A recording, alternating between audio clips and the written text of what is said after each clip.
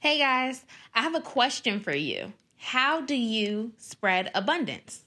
This year, Jo and I are spreading even more abundance by giving out insights on money, wealth strategies, and resources in our current newsletter, Creating Abundance in 52 Weeks, that we want to share with you for free. So sign up right now as you're listening to this episode on our website at www.abundantculture.co. That's .co slash newsletter. www.abundantculture.co slash newsletter. Don't let delay get in the way of your abundant year. Now, back to the episode. Welcome back to Abundant Culture Podcast, where we dissect the mindsets and tactics of the true beasts of business. People like Gary Vee, Grant Cardone, and Warren Buffett. All to create a blueprint to experience life more abundantly. Hey, everybody, it's Jo. Welcome back to the Abundant Culture Podcast. We're so glad to have you back again today. This week, we're going to be talking about a topic that is not only important for entrepreneurs, but I feel like is important for everybody in the world. And that skill is influence. At the end of the day, if you want a job, you have to influence someone. If you want to get a new client, you have to influence them on why they should be your client. And I feel like there's no better person to talk about influence than the person that we're interviewing today. Uh, this person has interviewed everybody you can think of. He's a well known person in the podcast world, and he's going to be talking to you about how to influence people who have a higher status than you. So maybe you're just some college kid and you want to interview multimillionaires. We're going to talk about how you go about getting those high profile people on your show, your podcast, whatever it is that you do. So get ready to listen to and learn from our good friend, Travis Chappell. So, hi, Travis, and thank you again so much for coming onto the Abundant Culture podcast. We are so, so excited to have you because you've built up this huge brand and you have a lot of great content out there. And you know you're you're just awesome really. Thank you. Uh, but before we get into you know all of what you do and the relationship and networking side of things we have to ask you how like what's that backstory? How did you get into business? Yeah good question. First off thank you uh, jasmine and joseph for having me. I know the um, i know the uh, process of what it's like to properly screen somebody to come on your show and to share their story with your audience. So I'm honored to to be on the show with you guys. Um, I, yeah, for me, I, I, guess you could really just say I've always just had the entrepreneurial itch. I don't know exactly what that means or how to define it necessarily, except for maybe just. Um, you know the desire to make money combined with the inability to listen to authority and, and maybe not even listen to authority as much as like be able to stick into a system that you just kind of feel like doesn't work for you um, so you know i was the kid in elementary school that brought other stuff to school to sell to the other elementary kids and things and i uh, started my first quote unquote business in my before my senior year of high school with a buddy of mine we just started um, landscaping so I did a lot of manual labor and mowed a ton of lawns and um, put in a, a, lot of grass and like sod jobs and fixed and installed sprinklers and timers and solenoids and valves and all that good stuff. Um, and uh, that was like my first really, you know, stint into the to that world of really not not really the business world but more just the world of making money you know at that point it's not necessarily a business it's just like you know doing manual labor with a friend and getting paid for it. and uh, so, uh, but uh, w- uh, with the position we were in, I uh, my dad was a real estate agent, and uh, he knew he had a couple investor friends that would flip houses and stuff, and so we would um, submit proposals and bids to some of those flippers to do like you know front lawns and things like that. So, um, and then we would actually hire some of the labor. Um, it usually would just be more friends of mine. I would just bring in and and so it was a cool summer, man. Like we, you know, we didn't we just kind of worked basically the majority of the summer but we also weren't were it wasn't like we were hustling 24 7 you know like we still you know went to the beach and hung out and did regular teenager stuff uh, but then we just had money to spend so that was cool. Um, and I, I, took that business, went to college, and I was doing the same thing in college for a while and i just honestly really got burnt out on it because i hated the actual labor part of it i just liked the money part of it and uh, and so as soon as i started trying to figure out other ways that i could make money i was pretty quick to abandon the landscaping path um, so like my sophomore junior year of high school a buddy of mine started in door-to-door sales and i remember looking at his paycheck for the first time and being like oh wow that's like that's pretty decent paycheck. And uh, it, it sounds ridiculous because it was like it was like a $800 paycheck or something like that. But he had worked 20 hours that week and in college you know like when you're 19 you're looking at a paycheck that's 800 bucks for 20 hours like 40 bucks an hour that that's that's pretty solid you know what i mean? Yeah. and um, and it was flexible because you didn't you know you could you could work whenever you needed to as long as you got your production and your hours in it was fine and so it was like the perfect kind of a you know side hustle job to have in college. So i asked if he could get me an interview and um, got hired at the job the next week and then it just kind of took off with it man. I, I, I just uh, started going forward with it and got promoted my first week um, based on production got promoted again like a month into it and then about two months after that i had my own team. And then about six months after that we had about 20 20 people strong um, taking uh, just knocking doors and um, basically selling solar equipment, and uh, that was really my first into that into that type of a world. And so by, by by the time my junior year, I believe it was no no senior year, I think started. Um, I was running that team of guys and making pretty decent money. You know, it wasn't six figures at that point. It was about like 15 1600 dollars a week or so if you like factored in my commissions and different things like that and so um, you know at 19 or 20 living at home that's a pretty solid situation. You know, I didn't really have many expenses, yeah. and I was mainly just going to school full time. Um, and uh, I just really took took to that world and started learning more about sales and started trying to become a better salesperson and um, get better on the doors and things.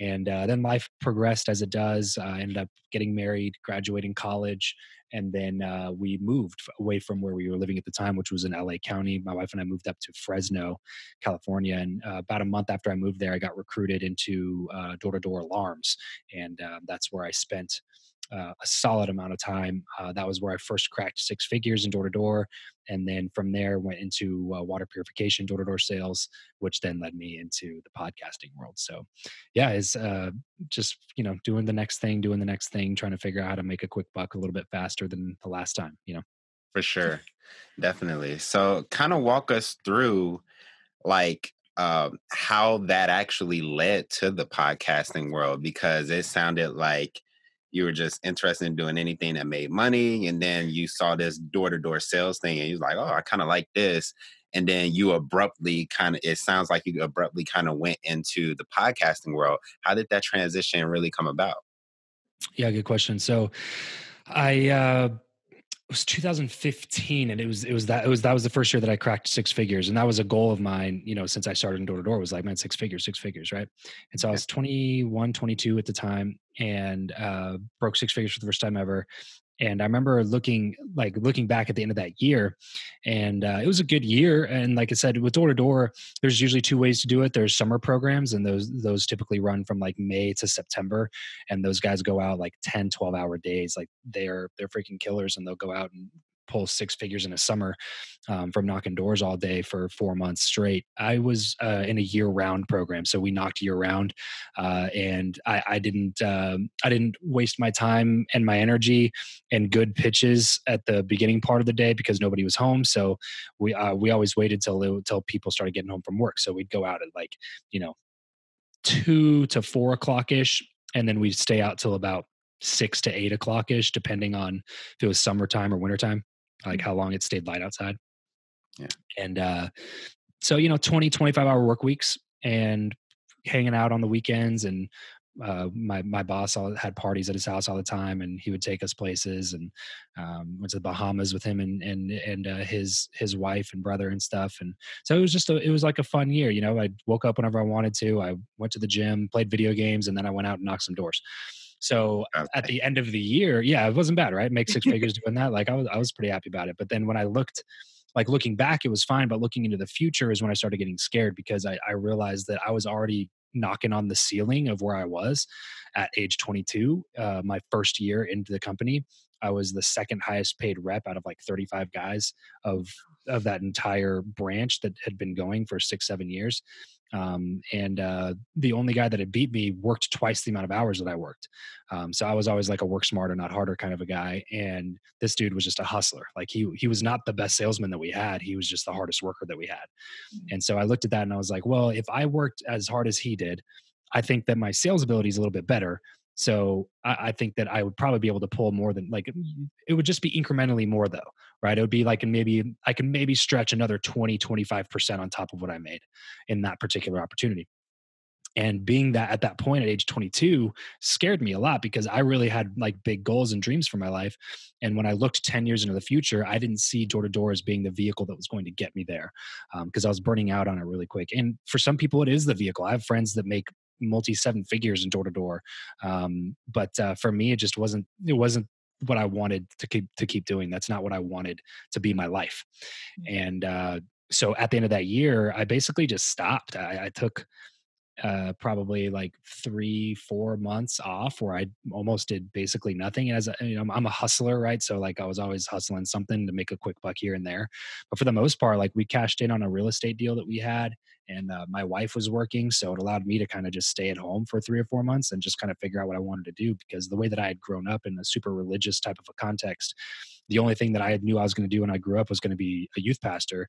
And um, so I had never questioned that in high school and college. That's what I went to college for. That's what I got my degree in and all that stuff. But by the time that I got out, I uh, I realized that wasn't the path that I wanted to go down, and uh, so when after that year of door to door, after you know hitting six figures, I was basically back to square one, almost square zero. Like I felt like a 14 or 15 year old kid that was just kind of sitting there and looking up career opportunities, just figuring out like like that was the first time in my life where I truly felt like I could do whatever I wanted.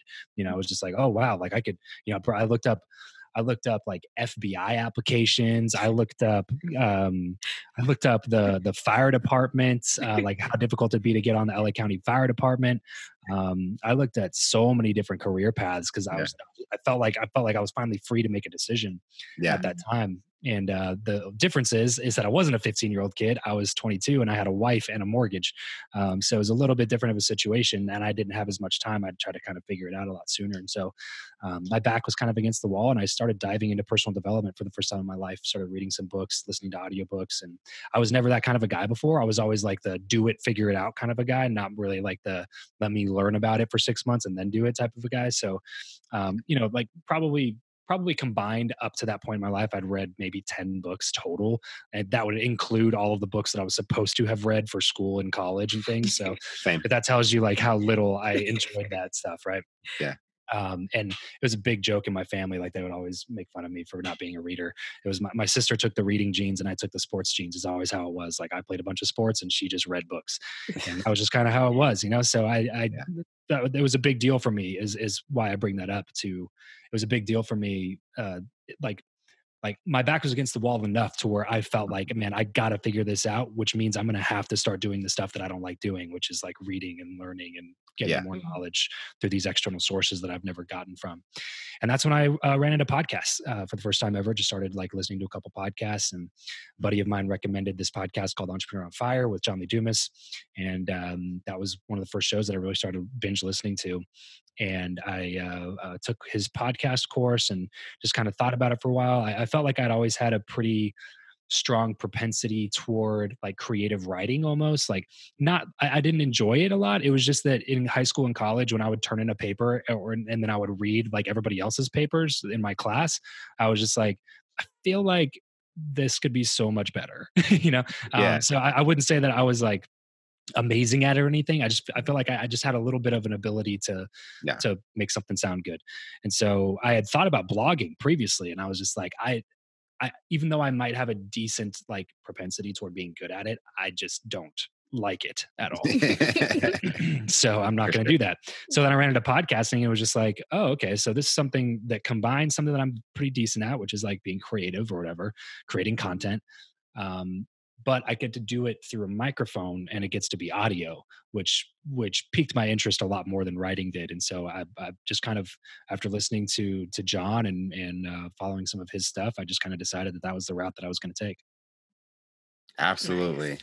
So, how did you know what you wanted the podcast to be about? Because there, you know, you could have went so many different ways. I mean, you said you wanted to be like a youth pastor. You could have went, you know, like a faith-based podcast or business, sales, anything. That's a good point. Yeah, so it wasn't as strategic as most people would think. Um, I basically was asking myself, okay, I know I want to do a podcast. What do I talk about? Mm-hmm. And I knew from the little bit of research that I had done that I had to find some sort of niche that I had to I had to find my blue ocean, so to speak. I had to go find an audience um, for myself. And uh, my first thought right off the bat was like, oh, the only thing that I know about in business is sales. So let me just start a sales podcast. And I went into iTunes and looked it up, and there was way too many results for sales podcasts. And so mm-hmm. I was like, you know, that's not going to be a niche at all. It's going to be really difficult for me to stand out in that noise, especially because I was 23 at the time. You know, I was like, who's going to listen to me? Who wants to listen to the 23 year old kid? Like, you got to listen to all these other people, which was a limiting belief, sure. But um, I think it also taught me a lesson about about Blue Ocean and and uh, and having sure. the right niche. So I went kind of back to the drawing board and I just asked myself, okay, so if I look at my six figure year as a 22 year old, what would I attribute that to? And number one was the sales ability. Number two was like, how, okay, but how did I get good at that? And the only answer I kept coming up with was I got around a guy who was doing a half a million dollars a year in door to door sales, who was the owner of that company that I worked for. And I spent as much time with him as I physically could whenever he invited me to something i was there. Whenever there was a party or a dinner or something i would try to make my way in to, to be invited. Like i wanted to i wanted to glean as much knowledge information as i could from somebody like that. And i wasn't about reinventing the wheel. I didn't have to be the guy that came up with the process or um, had my name patented behind it. I, all i knew is that i wanted results. And if that guy had results all i really had to do was follow exactly what he did and i would get right. results. Mm-hmm. It was a lot. It was very plain and simple to me, and so that's what I thought. I was like, okay, well, networking, networking's got to be a topic that people are interested in hearing about. Um, let me see, you know, and something that I want to learn about, learn more about as well. And uh, so let me see if that exists. And I went to iTunes. I thought it was going to pull up as many results as sales did, and it just turns out it didn't. Um, there was just wasn't anybody that was focused on that one specific topic. Sure, a lot of people talk about it and have episodes and one-offs and things, but in mm-hmm. terms of a show that was dedicated to only talking about that one topic, nothing really existed. So I was like, that's it. That's that's my blue ocean. That's, That's cool. really cool. yeah, that's amazing. So, what was the? Don't know why our light went off, but what was the experience like the first time you got somebody who was very in- influential onto your podcast? Like, what was, I guess, that first episode like? Uh, yeah, that's a good question. I got to think back to who that was. Um, mm-hmm. I, you know, besides John Lee Dumas, just because I, I I paid for that one. That was uh that was my first influential interview, but uh, you know, I paid to be in a mastermind that he put on and uh so I you know, that one was kind of guaranteed just because I invested the money to be there. Yeah. Um, so one of the first bigger ones that I remember, um, where it was like a cold reach out and it could have easily just been ignored or said no, uh, was with Patrick Bet-David. Do you guys know who that is? Yeah. yeah. That's crazy. Okay. So Patrick Bet-David at the time, he he had about three thousand agents working at uh, at PHP, his his company at the time, and uh, and he had like three hundred and fifty thousand YouTube subscribers. So it kind of gives you some context because now he has over ten thousand agents in his company and uh, like one point something million YouTube subscribers. So he's been absolutely crushing it. Um, so it gives you an idea of context of in terms of the timing uh, when when all this went down.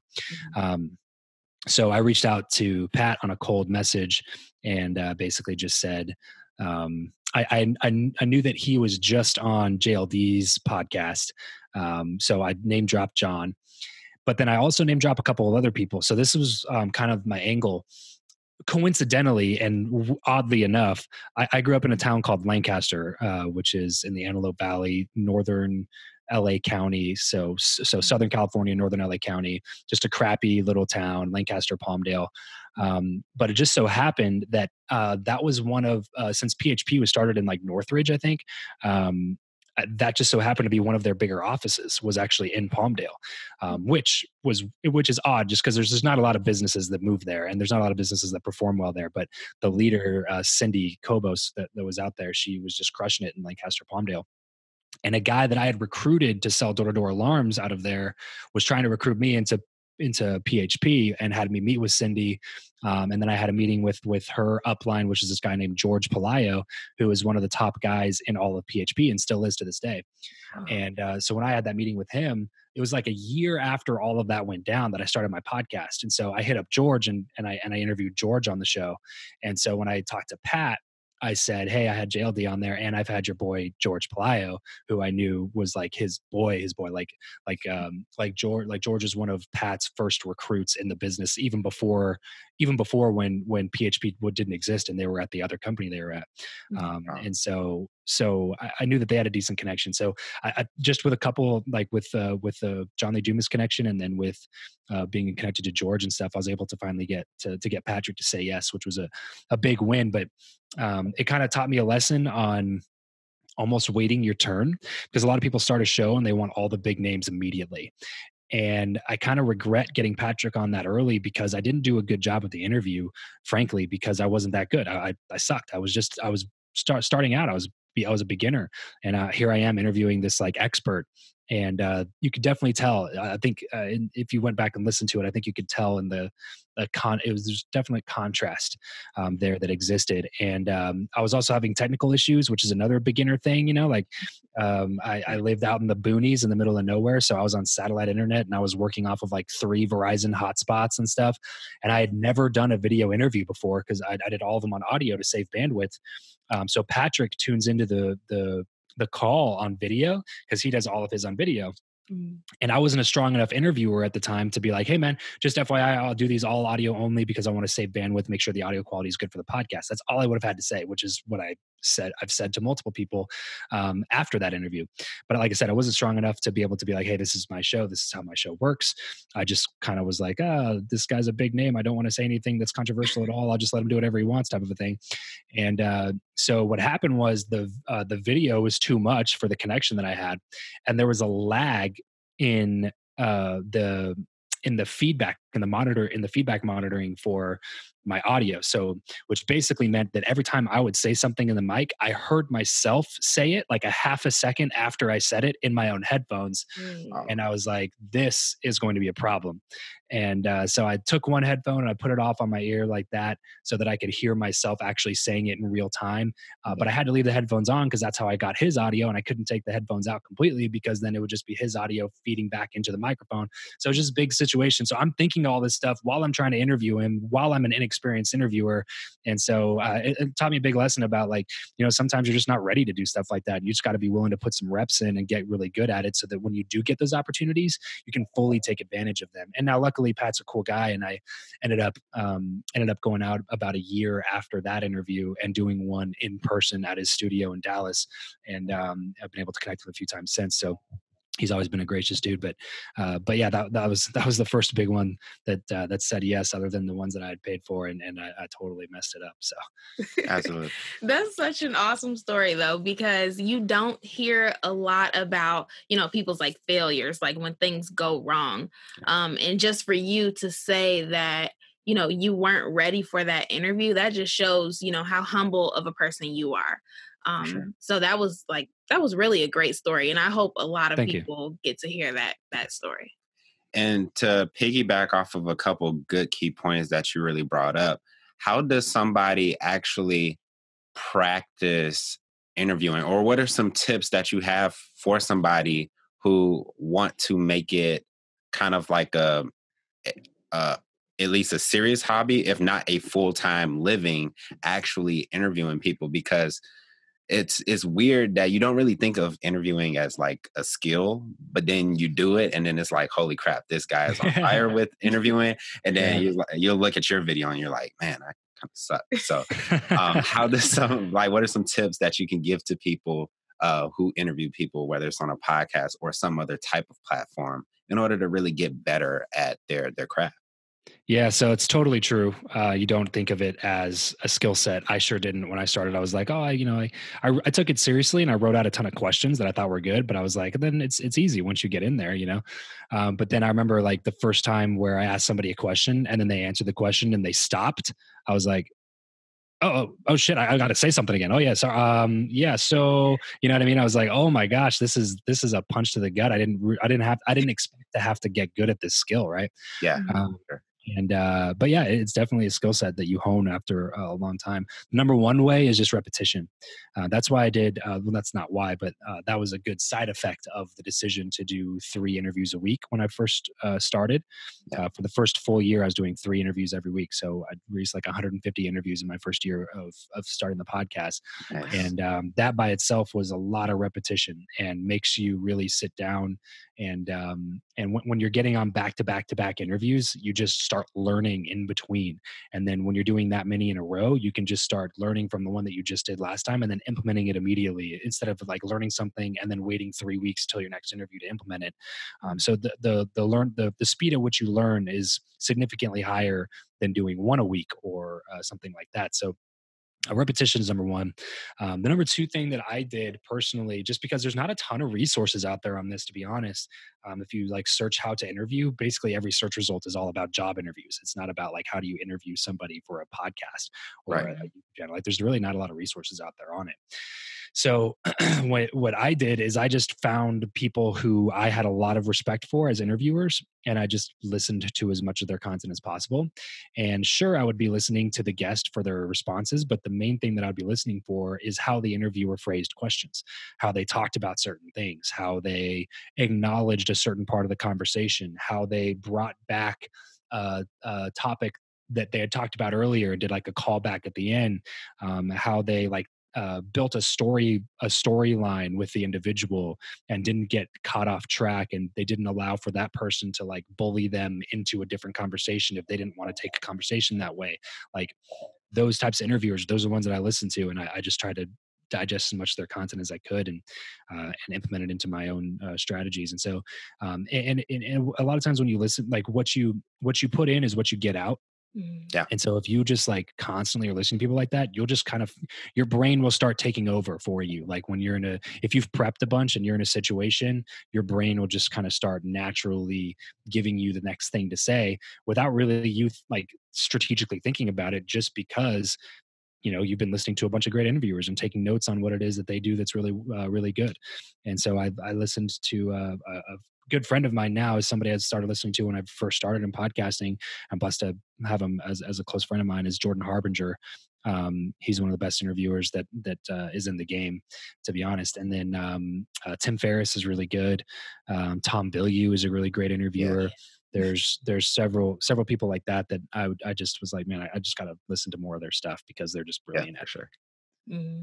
Yeah, definitely. So, um, once somebody gets in like all these reps and they think that they're ready to have, you know, like a more influential person on their podcast or, mm-hmm. you know, YouTube channel, whatever it is, um, would you suggest that that person taps into the that person's network because it seems like that's what you did with um I can't think of his name right now. I'm having brain fart, but um, Patrick. T- yeah, tap, tap into their network as in like after the interview, before the interview. No, like before the interview, how you um got Patrick's uh like number one guy on the podcast, and then you approached uh Patrick. Yes. Is that how? Yes. Hundred percent, hands down. Yeah, yeah. That's like that, that's the number one way that I've gotten people on my show. Um, if you can if you can punch people in the face with credibility, you know what I mean? Where it's just like they can't help, like they can't help but say yes, right? Like it's your job as the pitcher to make it as easy as possible for the pitchy to say yes to what you're saying. And um, if it's just a big old punch in the face with just like name after name after name after name of people that they know like and trust already then you are you get to share that know like and trust people. That's like the biggest principle. And no, there's so many people that don't get it and there's so many people that don't use it and i just don't understand why. It just makes total sense to me. It always has from the beginning and it's been a concept that i've proven over time with my show which is basically like continuing to get better and better and better quality guests on by continuing to get better and better quality guests on. That's how you do it. Like you keep getting better guests and then you keep getting better guests because you already have better guests. So like it's just like the most difficult ones are the first like 3 to 5. Once you get the first three to five, like you should be starting to roll through a lot of the people that you have on your list. Um, but that's why I always I, I also segmented it right into like different networks um, and i tried to make sure that like you know the people that i was going after for a couple of months were all connected somehow so it'd be easier for me to roll through those contacts right? So if you're trying to reach out to you know trying to reach out to the top real estate producer in the western united states to be on your show and then you're also trying to get you know uh, uh top affiliate marketer that lives in Bali and freelances affiliate deals and you're trying to get both of them at the same time, they both probably operate in completely different worlds. Yeah. So they probably don't know each other and they probably don't share similar connections. Whereas if you go for that top real estate producer, just try to get more real estate producers or maybe maybe loan officers or or real estate investors or real estate influencers like go go after people that all seem to be interconnected and know each other and the best way to do that is to just listen to that's that's why I'm such an avid consumer of content because it tells me who people are connected to. So if you really want to get connected to somebody like tune into their show and start listening to all the people they're connected to and a lot of times the guests that come on their shows are a lot easier to get on your show than going straight to the person themselves and then once you get enough of the people that that person recognizes when you reach out like they will have they, like they will have a list of people that they already know like and trust that have been on your show and saying yes to you just seems like a no-brainer because like you've taken all the guesswork out of the equation. They don't have to respond with uh, how many downloads do you have and how long have you been in itunes and how many episodes have you put out? They don't have to answer, ask any of those questions because you've already taken care of all of those by streamlining the process and just punch them in the face with credibility. Like you, you can't say no to me after that point. You know what I mean? Like if if yeah, sure. If I already, if I already have, if I just listed fifteen of your friends that you know, like, trust, and, and have done business with, like you don't got to go research me. You don't have to Google me. You don't have your, you don't have to have your assistant pull me up and see if it's worth your time. You don't have to do any of that. You just have to say yes. You know. Yeah, definitely. Yeah. Um, and I can say that that's actually been working for us too. Um, just because, so we're on like episode 50 this week, and uh, we only do it like one one a week, and we're finally starting to reach out to more and more influential people. Like we have you on the podcast now. We just had our pastor on our podcast, so it took us about a year, but it's I can definitely see like our our increase and our like how good our guests are now. Sure. Yeah, it's a the see the path for sure, and it's just gonna it's gonna continue that way as long as you guys continue to reach out to people. Yeah, mm-hmm. and it, I kind of like when you explain it, it almost sounds in my mind that you're collecting uh relational relationship based bread crumbs almost like yeah like you have a goal to maybe um, talk to this guy but before you talk to him you'll talk to like the four other people that he's had on his show or that he's affiliated with and you know that and that just seems to be a very very efficient way to to build that credibility because i'm not gonna lie i reached out to a guy and i didn't even know how big he was honestly. It was crazy um, i reached out to a real estate guy mm-hmm. I think a few months back, and then he asked me that very question of like, how many downloads do you get a month? Yep. I, was, I don't know. I don't really care at this point. and um, he was like, come back to me when you hit like, I think he said 5,000 or something like that. And yeah, I'm, yeah.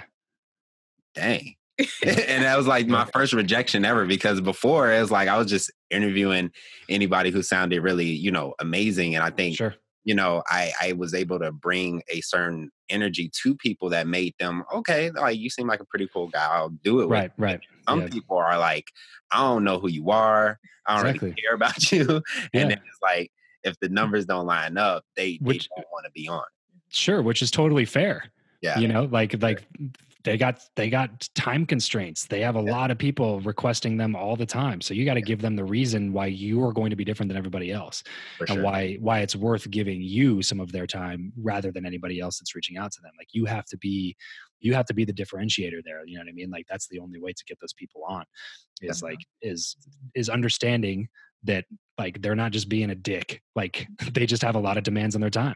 Yeah definitely. they, they, can't say yes to every opportunity or else they would do nothing but podcast interviews all day every day you yeah know? for sure. Um, so like the, the but like to prove the point those people are going to be the best guests for your show because those are like those are the needle movers. Those are the ones that have audiences. Those are the ones that people recognize. Those are the ones that draw people into your show into your rss feed into your website draw traffic into your blog into your youtube channel like those big names that pull that attention are are responsible for a lot of those things and uh, so to get those people on is is is a, a, a good goal um, just for the overall health and credibility authority of your show yeah. Um, but uh, but yeah you gotta you gotta really you gotta really make it make sense for them to give you their time rather than somebody else their time because that's ultimately all they're looking at mm-hmm. yeah for sure so then what I'm sorry. Oh, go ahead. Okay.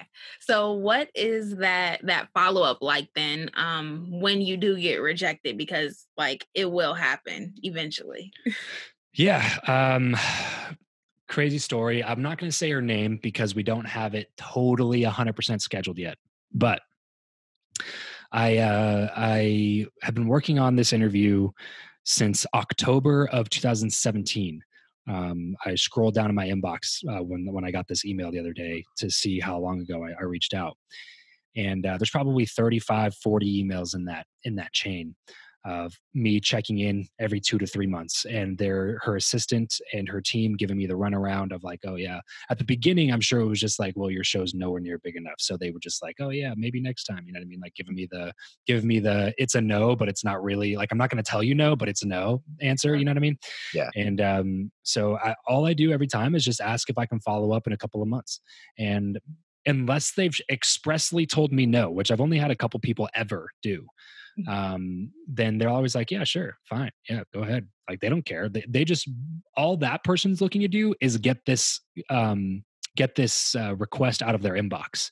They're just trying to do their job. They're just trying to clear their inbox, right? Yeah. So like, is if they if they respond to you and then you respond with a, hey, can I follow up? Like they don't care if you follow up. They just don't want to deal with it right now. They're just trying to get to inbox zero. You're just trying to take care of do their job, right? Yeah. So I would always reach back out a couple months later, and I always would put got put it on my calendar. Sure, sure, okay, great. Let me go put that on my calendar. I put it in three months later to reach back out, follow up, follow up, follow up, and then never come across with this like people have people are so freaking entitled these days it blows my mind and so yeah. people get entitled to feeling like you just like like i deserve an interview with you and it's like no you don't like that person that person deserves to not have to do any interviews if they don't want to do it like yeah.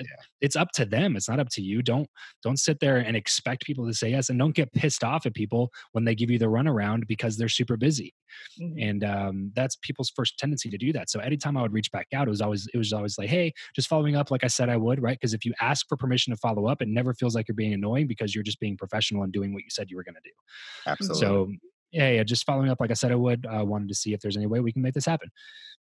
And um, and then just kept getting pushed off, pushed off, pushed off. And then the last time that I followed up with her, um, her her assistant, like three weeks ago, I uh, had it in my calendar, so I followed up with her again, and she said something uh, that she said she said something when she replied to my email. Uh, her assistant, she was like, um, "I was wondering when I was going to hear back from you. Um, it's uh, it's she was like, at this point, your persistence is like just straight up impressive. And she was like, and I mean that in a really positive way.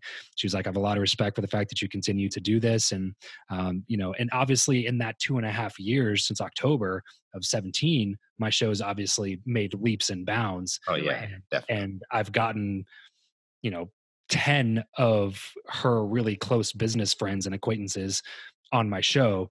So every time I would reach out with a follow up. I would give him an update on that, like, oh yeah, I just interviewed, you know, Dean Graziosi at his office. Just had uh, this person on, that that person on, people that I knew that she was very familiar with and that she was friends with, and uh, so I, I, kept throwing those in there too. So um, this last time, assistant when she emailed me that back i was like ah well you know i learned a long time ago through years of door-to-door sales and almost 400 podcast episodes that the ones that usually take the longest are often the most worth it.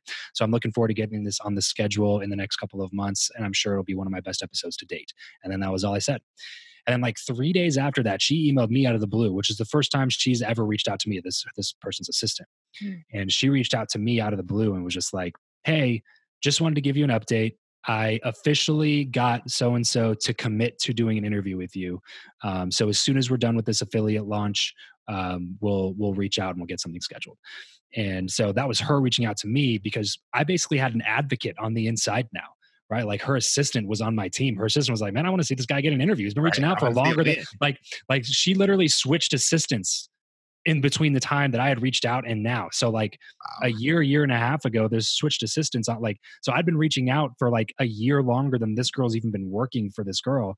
And um and uh so she was just like straight up down. She was just impressed that I kept like pushing and, and and asking but i was never pushy about it. I was never annoying about it. I never acted like i deserved it. I never got offended when they said no. I just kept following up and throwing it in, throwing it out there and saying hey i would love to add value. I'd love to uh, share her story with my audience. I'd love to do this and that and blah blah blah.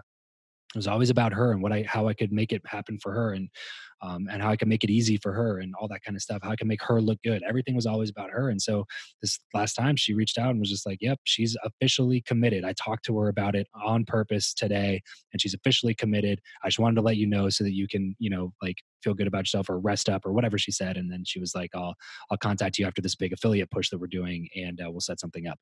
And so that was, I mean, that's one example of of persistence, and that'll probably be my flagship story from now on because it's just it's just it was a long time coming uh, but just like that story i have several other ones that are very similar that were like a year in that time frame like reaching out to somebody for a year reaching out to somebody for six months eight months seven months like you know that there's just a lot of there's there's a lot that goes into it and it really just depends on your priorities like do you really want that person that much? Because some people say oh yeah reach out in a couple months and i'm like eh not worth it. Like, eh, I don't really care. You know what I mean? Like, I don't really care if you come on. Like, I'm not that big. Like, I'm not that huge of a fan of yours. you know, you're right. but like, yeah, exactly. I was just like, yeah, not worth my time to continually reach out and push for this one.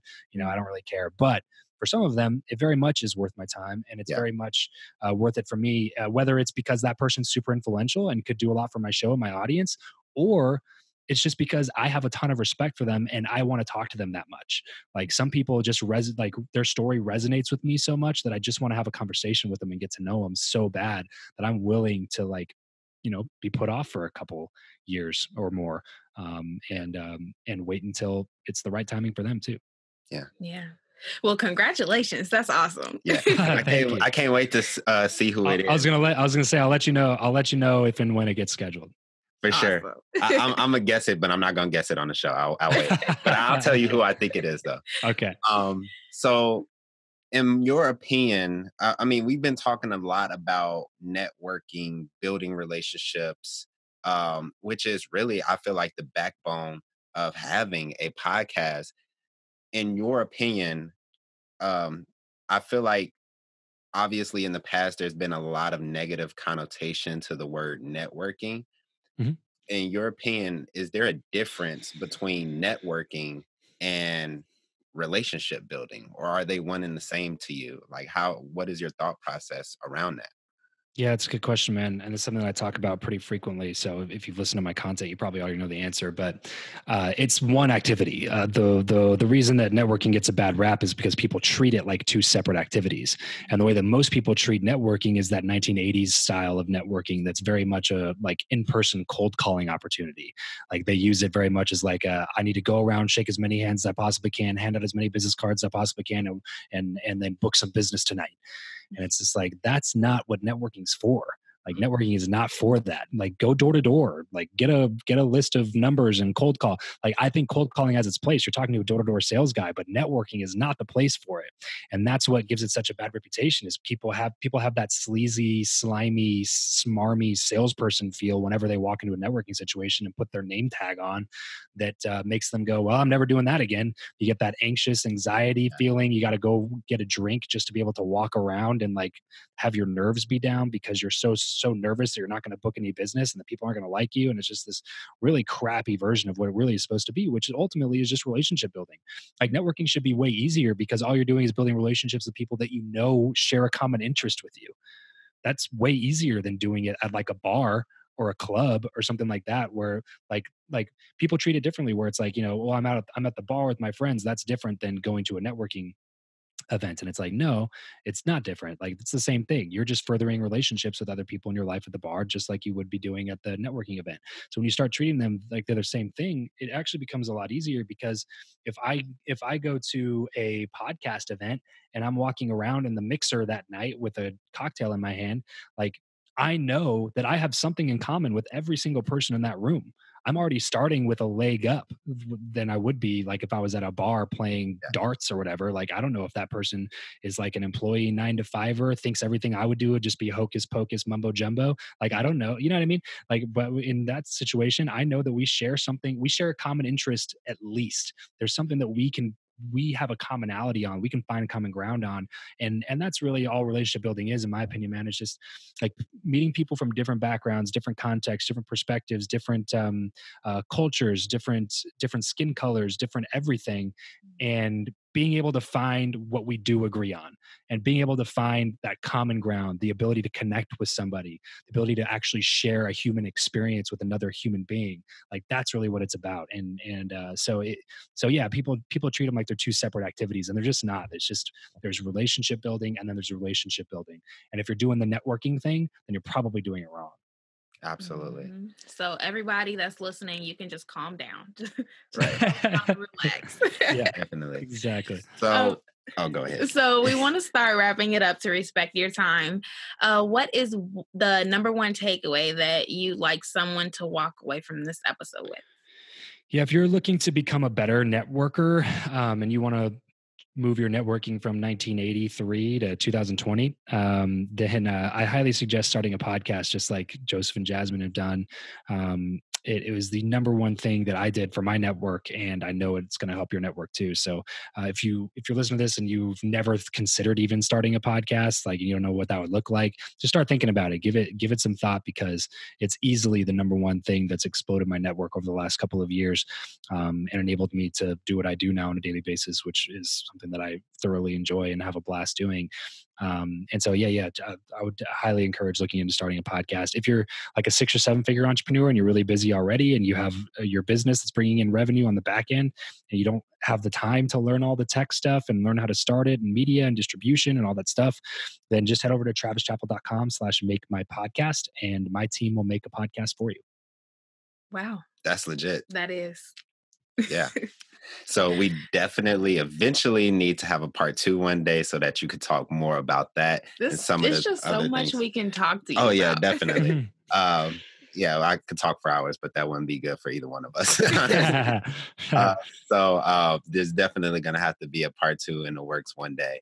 But uh, you come, you came onto the Abundant Culture podcast, and we feel the need to ask this to everybody that comes on because we always get extremely interesting answers. And that question is whether it be in your business or even in your personal life, how do you choose to spread abundance in the areas where you're abundant?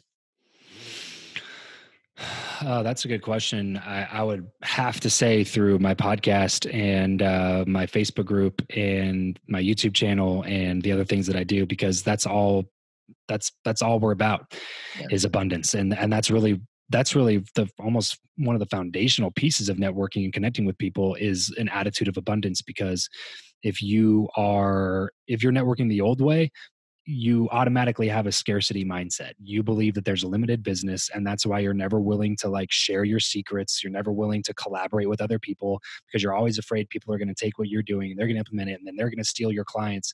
Like there's this big feeling of scarcity the scarcity that comes along with that and so with the whole message that we try to push is that it comes with an abundance mentality like the ability to jump on a podcast and share a bunch of information to a bunch of your audience that like your and i'm not saying this in a mean way i'm just saying like facts right? Like your audience doesn't directly benefit me right now you know like right. this hour that we've spent talking together like i don't get paid for this this isn't something that uh that uh you know i get to write off like there's no real benefit to me except for spreading abundance for and sure. and being able to share of the things that i've learned completely for free um, with a couple of awesome hosts to an audience that i'm sure will benefit from it like just that is an abundance mentality and, not wanting to hold all these secrets in for me and myself and only the people that pay me ever learn anything that I do. Like that's just that's just the opposite of, of what we're trying to create here. And so we want abundance and we want we we do want that abundance culture we want that um uh, we want to eliminate the the scarcity mentality uh, by by doing more stuff like this and, and move into more of that collaborative space. So I appreciate you guys. I love it. Thank you. We appreciate Absolutely you too. Love it. so, if somebody wants to mm. uh, work with you either on a podcast or they want to interview you because you're an awesome guest to have on a podcast episode, uh, where would be the best place for them to actually get into contact with you? TravisChappell.com basically has everything that I do. Uh, C H A P P E L L, uh, travischappell.com. Uh, all my social links. Uh, uh, YouTube is travischappell.com slash YouTube. Um, the podcast is travischappell.com slash show. So pretty, pretty much everything's over, over there. Um, and then if you are serious um, and uh, and you do make you got to be making some decent money right now if you want me to make a podcast for you because it's not cheap uh, mm-hmm. uh, but i it will be quality and you it will attract ideal clients into your business which will pay for itself very quickly. So if you do want something like that you're interested in at least having a conversation about it. There's no commitment there's no um, expectations no risk. If you go over to travischappell.com slash make my podcast um, there's just a quick application there and we'll hop on a phone call and see if it'll be a good fit. Because i don't work with people that i don't think will be able to make the money back within a certain time period. So um, I only work with people that I'm very confident in. So um, yeah, the application process is there for you, but it's also there for me because I want to make sure that it's a good fit for both of us. So travischappell.com slash make my podcast. Awesome. awesome. And everyone listening, you have to have to join his Facebook group. Um, I think that's actually where we first started talking, uh, Travis. So I'm sure that's probably how I even got your attention in the first place. awesome. Yeah, yeah. That's a great place to connect with me. I'm pretty active over there. Yes, you are. So that's like a great group. Um, the people in the group are also great too. I've talked to a couple of them. So awesome. Definitely join the group. yeah, cool. And that's at uh, slash group. So Cool. Awesome. Yep. So thank you again, Travis, for coming onto the podcast. You were a wealth of knowledge, and I'm sure everyone listening will definitely enjoy this show. Well, thanks for having me, Jasmine. Thanks, Joseph. Appreciate you guys. No problem. So that's all we have for today, folks. I hope you got as much value out of this as we did. Keep in mind, the only way we can improve is through constructive feedback. So remember to rate and review this episode. Also, you are not the only person that needs to know this super valuable information. So be sure to subscribe and share as well. Stay tuned for the next episode and remember to always spread abundance. Peace.